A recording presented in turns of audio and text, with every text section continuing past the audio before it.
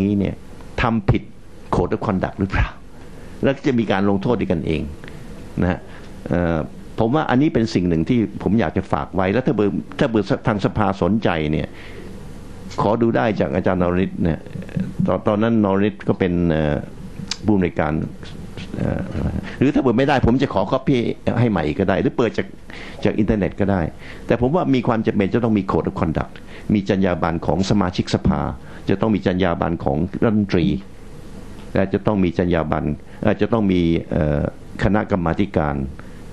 ดูแลเรื่อง ethics ของอเมริกาก็มีนะฮะเอ่อเขาเรียก House Ethics Committee อะไรต่างๆเหล่านี้ค่ะ ขอคำถามสุดท้ายที่คุณอังคณานะคะ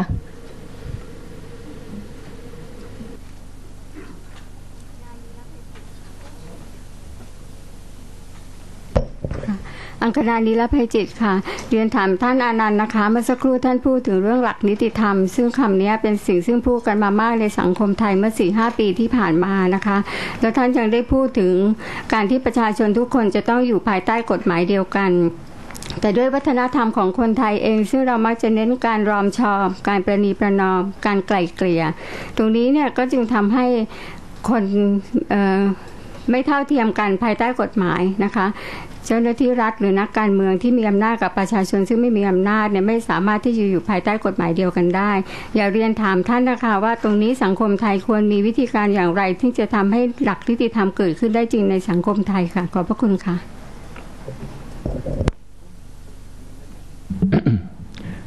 อันนี้ผมพูดแทน แทนผู้ใดไม่ได้นะครับถ้าผมพูดอะไรออกมาในเรื่องนี้ก็เป็นเรื่องความเห็นส่วนตัวนะครับนั้นก็สามารถไปวิจารณ์ที่อื่นได้ คือผมนี่ตั้งแต่สมัยผมเป็นรัฐบาลอันนั้นหนึ่งแล้วคนก็มาพูดหลายเรื่อง แล้วผมเคยเคยให้สัมภาษณ์หลายครั้ง ผมบอกบอกว่าการ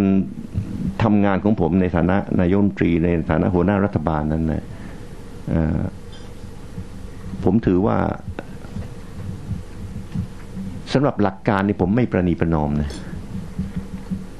เหมือนอย่างที่ผมพูดเมื่อกี้เนี่ยซื่อสัตย์เนี่ยมันไม่มีก็ซื่อสัตย์มาก ซื่อสัตย์น้อยซื่อสัตย์มากเกินไป ซื่อสัตย์ก็ซื่อสัตย์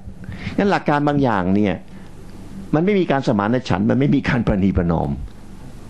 ไม่มีครับนี่นี่เป็นวิธีคิดของผมนะจะผิดจะถูกขอขอท่านวิจารยานนั้นพระตะเบิดมันเริ่มต้นจากจุดนั้น แล้วผมก็บอกว่า แต่วิธีการเนี่ย มีการยืดหยุ่นได้ มีการรุ่มรวยได้ มีการประนีประนอมได้ แต่หลักการประนีประนอมไม่ได้ครับฉันใดฉันนั้นเวลาศาลก็ตัดสินว่าคนคนนี้ผิด แล้วบอกประนีประนอมสงสารอย่าผิดเลย ให้กึ่งผิดอะไรเงี้ย มันไม่มีครับศาลบอกผิดก็ผิดนะแต่วิธีการประนีประนอมได้ เออคนนี้สารภาพลดโทษมันครึ่งหนึ่ง คนนี้ให้ให้การเป็นผลเป็นผลประโยชน์กับรัฐในการที่รัฐจะจะไปฟ้องร้องคนอื่นได้ไอ้อย่างนั้นได้ เพราะฉะนั้นหลักการเนี่ยนะยืดหยุ่นไม่ได้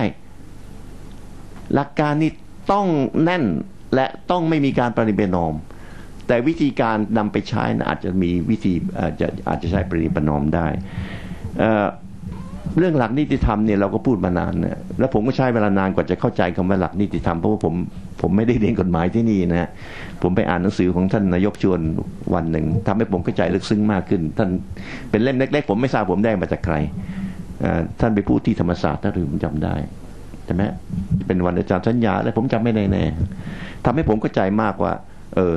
เมืองไทยก็มีนะกฎหมายไทยมีหลักนิติธรรม แต่ก็อย่างว่าก็พูดกันมาเรื่อยๆเนี่ยนะตอนนี้พอหลักนิติธรรมไปอธิบายอะไรแล้วเนี่ยคนไทยจะเข้าใจไหมครับไม่เข้าใจว่าหลักนิติธรรมนี่คืออะไร ผมก็พยายามจะหาวิธีอธิบายว่า หลักนิติธรรมคือพูดง่าย ๆ ว่า ทุกคนเนี่ยเท่ากันหมดภายใต้กฎหมายเดียวกัน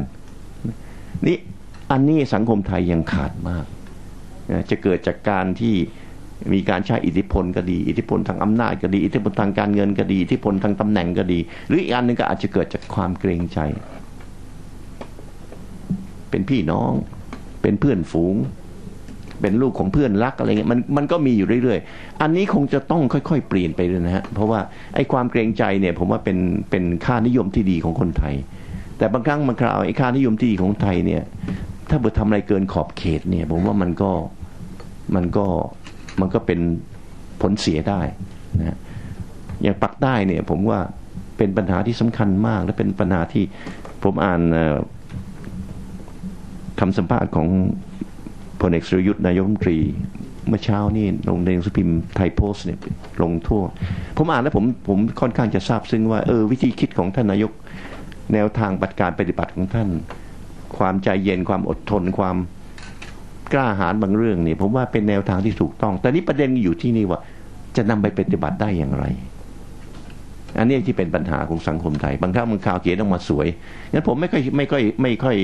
ไม่ค่อย ไม่ใช่ว่าไม่ให้ความสนใจ ไม่ให้ความสำคัญมากกว่ามากเท่าที่คนอื่นก็ให้ความสำคัญถึงเรื่องตัวรัฐธรรมนูญครับผมว่าถ้าเบิดคนเราในจิตสำนึกมันไม่เป็นประชาธิปไตยนะ ให้คุณเขียนยังไงครับก็ศาสนาเขียนมาทุกศาสนา แล้วคุณอ่านคุณจะอ่านไบเบิลคุณจะอ่านคัมภีร์คุณจะอ่านพระไตรปิฎกคุณจะอ่านอะไรอะไรก็ต่างเนี่ยคำพูดในในศาสนาสั่งสอนเนี่ยเพราะพริ้งทั้งนั้นอะแล้วฆ่ากันก็ยังมีนะขโมยกันก็ยังมี เพราะฉะนั้นมันอยู่ที่ว่าเริ่มต้นนะจิตสำนึกมีหรือเปล่านะบางครั้งบางคราวนี่หลายหลายคนบอกว่าต้องสร้างระบบให้ดี แล้วคนจะปฏิบัติตามระบบ บางครั้งบางคราวผมบอกเอ้ไม่ใช่นะ ให้ระบบดีเท่าไหร่เนี่ยแต่เป็นคนมันเลวนะไอ้คนเลวเลวเนี่ย มันคอรัประบบครับ มันไปทำให้ระบบที่เสียอันนี้อันนี้เป็นสิ่งที่เรามันเป็นสัจธรรมที่ที่เราจะต้องตระหนักไว้ครับ นี่นะคะเป็นของหนังสือพิมพ์บางกอกโพสต์ แล้วก็ของท่านเมื่อสักครู่เดี๋ยวดิฉันมอบให้ท่านได้ไหมคะเพราะว่าบางคำดิฉันอ่านไม่ออกนะคะแต่ของบางกอกโพสต์พูดว่าอย่างนี้นะคะ บอกว่ากรณีที่ท่านอนันต์ได้หยิบยกกรณีงานนะคะ ของตนเองว่าแม้เข้ามาเป็นนายกโดยไม่ชอบธรรมแต่ไม่จำเป็นต้องเป็นคนไร้คุณธรรม ตักกะนี้ท่านคิดว่าไปด้วยกันกับการยกร่างรัฐธรรมนูญ ในยุคปฏิวัติรัฐประหาร จะจำเป็นต้องเป็นรัฐธรรมนูญเผด็จการ หรือรัฐธรรมนูญที่ไม่ดีหรือไม่ที่ขอประทานโทษนะ ผมไม่ได้ยกเรื่องตัวเองขึ้นมาพูดนะเพิ่นคำถามเนี่ย มันไปเกี่ยวโยงกับไอชีวิตหนึ่งของตอนหนึ่งของผมนะผมยังไม่เข้าใจคำถามแบงกอกโพสต์นะ ไปตกลงกันข้างหลังนะคะเออผมผมยังตอนผมนี้ยังไม่เข้าใจเลยเพราะว่าเออวันค่ะวันนี้อาจจะโง่หน่อยนะค่ะขอบคุณมากครับค่ะงั้นเอาปัจจุบันนี้ก่อนว่าต้องกราบขอบคุณพระท่านอนันต์ปัญญารชุนที่ให้เกียรติบรรยายในเรื่องของจริยธรรมกับนักการเมืองนะคะ แล้วก็เชิญท่านพักสักครู่นะคะ โอกาสต่อไปขอกราบเรียนเชิญพระท่านชวนหลีกภัย อดีตนายกรัฐมนตรีค่ะ พูดถึงจริยธรรมกับนักการเมืองด้วยค่ะกราบเรียนเชิญค่ะ